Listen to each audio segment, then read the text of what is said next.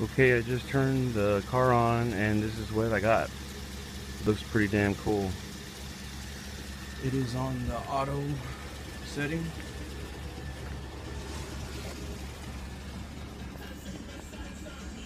So you could actually put it on. We can just have the halo on. See how it looks.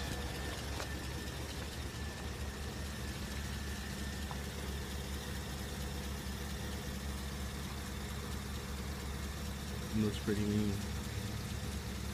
It's the best $13 I ever spent.